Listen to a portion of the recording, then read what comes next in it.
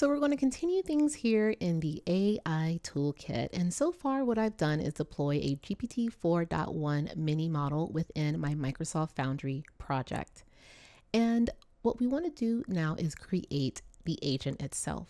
If we scroll down within agent and workflow tools, we're going to select agent builder.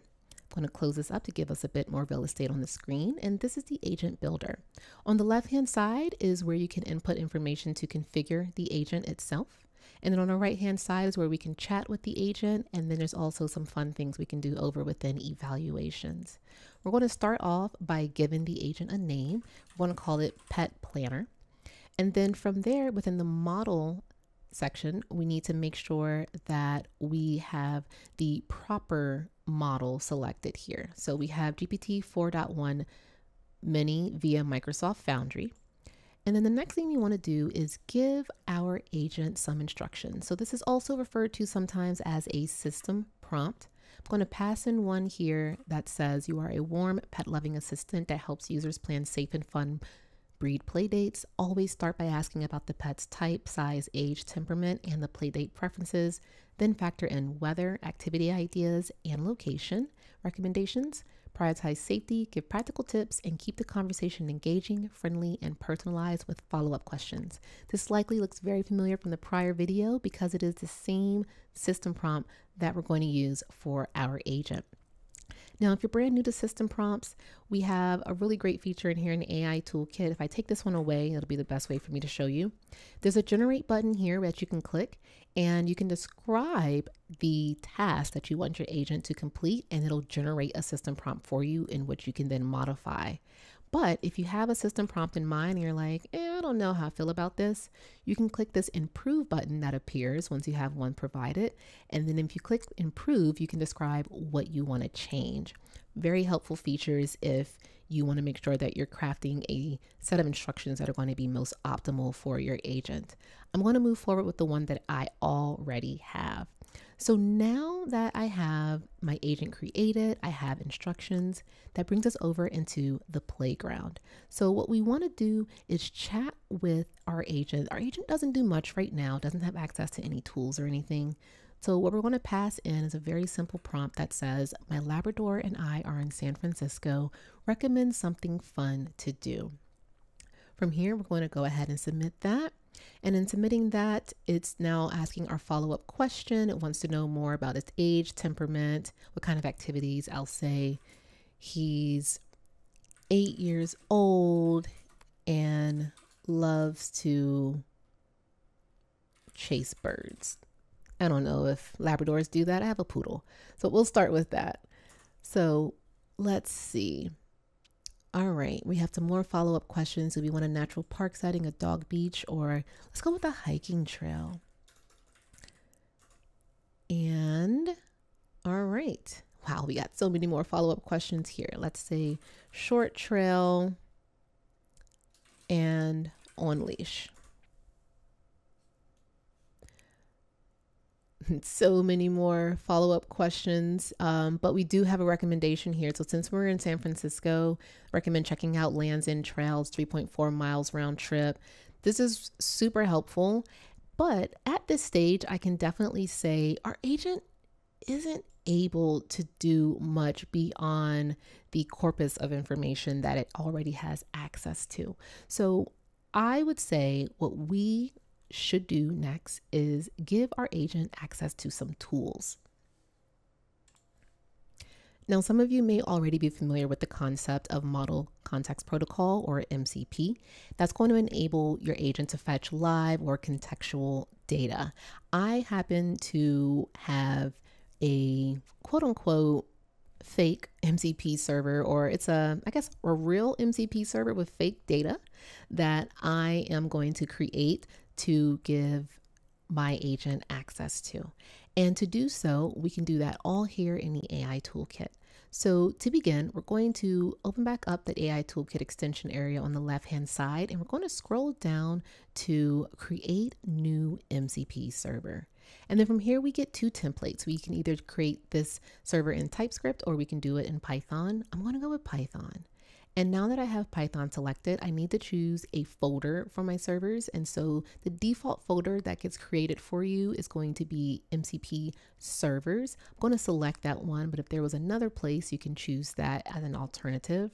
And then we need to give the server a name. I'm going to name mine pet dash planner. Leave it just like that, press enter. What this is going to do now is open up a new window in Visual Studio Code with the files for creating an MCP server. So I'll take you through what's happening in here. So we're going to kick things off first with this README. And this README gives you instructions with respect to what's all in this project. So to start off, we have information on how to prepare the environment, which I will take you through here in just a second. And then once you have the environment prepared, it just shows you how to run this. So that way you can start using your MCP server with your agent. Expanding these files that I have over here, we just took a look at the README, so I won't go back through that again. But what's going to be important is what's inside this SRC folder. This is where we have the server files itself. So the server.py file is where you can add your server tools. And so within here, let me expand this so we can see it a little better.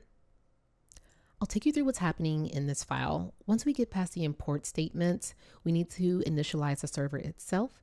And then just below, we have one tool that's been added in here. So since this is a weather tool template, essentially this tool is getting the weather. It's mock data, but essentially it's going to get weather information for a given location. And then just down below, we define some conditions, whether that's going to be sunny, rainy, cloudy, and snowy. And then the weather itself, we're going to pass in location. We'll get the temperature, which is just going to be a random number. And then we're going to choose one of the conditions at random. So again, the template itself, it's all mock data. And we're going to continue on that mock train and add some more mock data for our pet planner MCP server. So I'm going to pass in that server that I created here. I'm gonna scroll to the top so you can see what tools I have in here. So everything at the top is pretty much staying the same, but we created our own version of the get weather tool. And this one in particular is going to get the weather for a city, state, or country. And then we have some weather conditions and we just hard coded some values for what the weather is actually going to be or the temperature, I should say. We have another tool for getting pet activities. And so within here, depending on what the weather is, that'll determine what the activity is for either a dog or a cat. Or I limited this agent to only recommend things for dogs and cats, but you can expand this because I know more pets exist.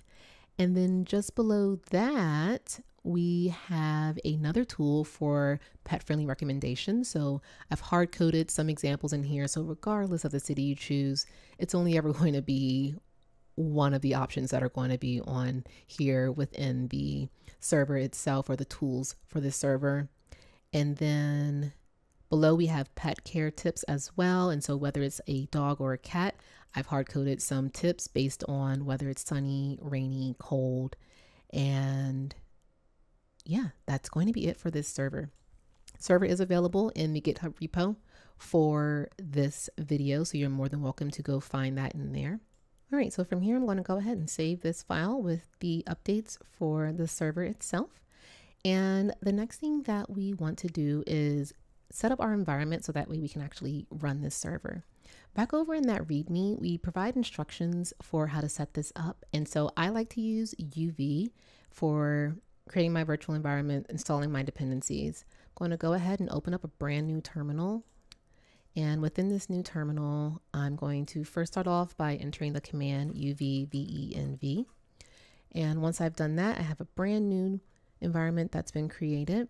What I'm going to do now is actually run the VS Code command that's on the screen. We do recommend doing it this way. I'm going to search for Python select interpreter. I'm going to select the virtual environment that was just created. So now that that's been selected, we can now move forward with installing the dependencies. So we have the command here for you to run. Just copy and paste that and go ahead and press enter. And that's going to install all the necessary dependencies we have. This is why I love using UV. It's super fast.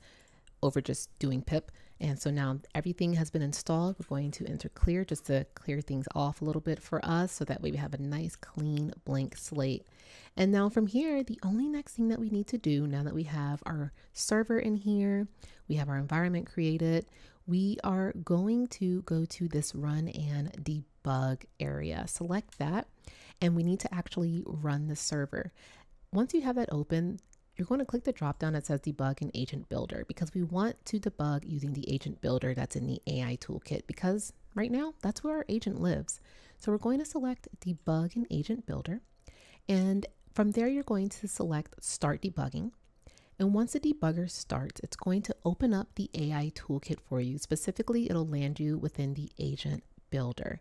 Your server is also now running locally as well. We haven't deployed it anywhere, but it's running locally. So now we can actually use this server with our agent.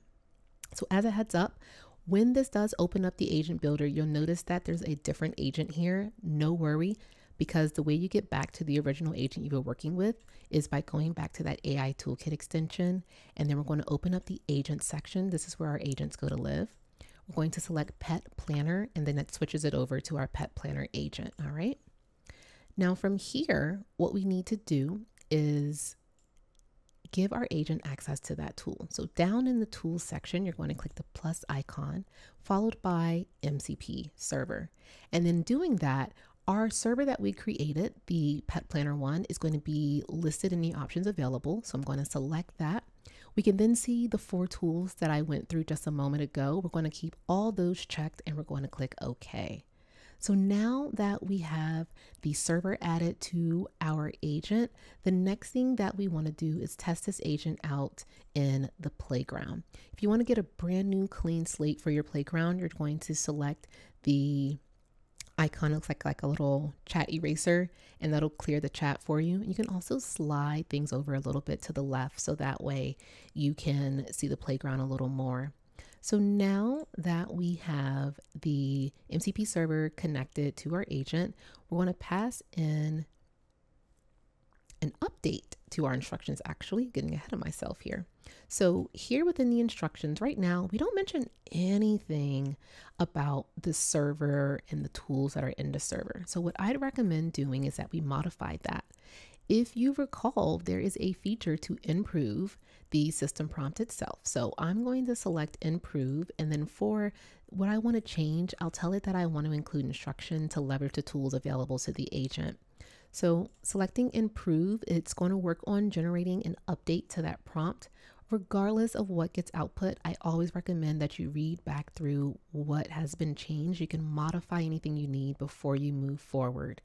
But this is going to be a very quick way of getting an update for your existing system prompt. And if you don't have one already in there, this is also a really great way to get one going. Okay, so our prompt has been improved. We can view a diff if we wanted to.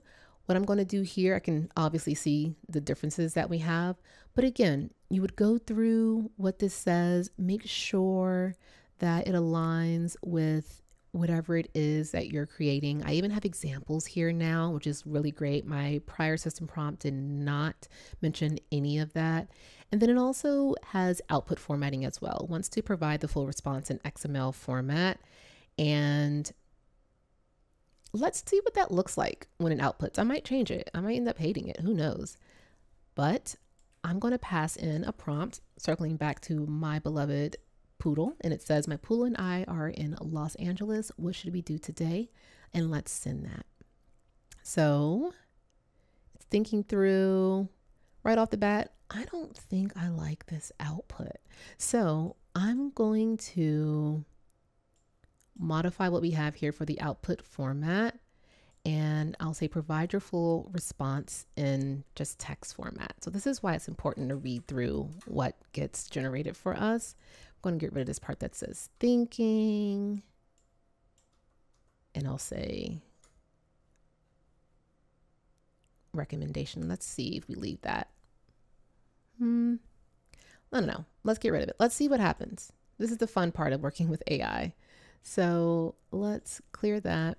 Let's try this again and we'll run that.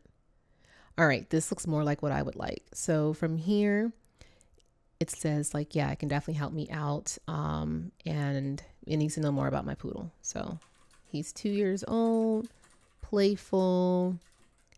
He likes outdoor walks in the park. We'll just say in the park. All right. So I'm going to press enter here. Let's see what this does. And we have a tool call. This is exactly what we want. Right off the bat, we have a tool call that happened, and this one gets the weather. So, again, this weather information is mock. This is probably as close to reality as possible, though, because it was just raining a lot in Los Angeles, if you could believe that. So, it says that there's heavy rain with strong winds, high humidity. So, this is great. The agent did the tool call, it knows the weather, and since it knows the weather, it can now continue with how it's going to go about recommending an activity. So, I would say, since it says here that parks might not be safe for enjoyable right now, um, I'll say he loves to play tug with his toy. And in doing that, we have three tool calls here. Oh, that's awesome. This is exactly what we want to see from our agent. So at the very top here, let's look to see which tools got invoked. We're getting pet activities, we're getting pet friendly locations, and we're getting pet care tips. So I can see here that I am getting recommendations as I had hoped. And even though it noticed that it's raining and it might not be a good idea to be outside, it said that we could check for indoor facilities or just for some short visits. So it's good to still get that as well. And because it's rainy, we do have some safety tips as well.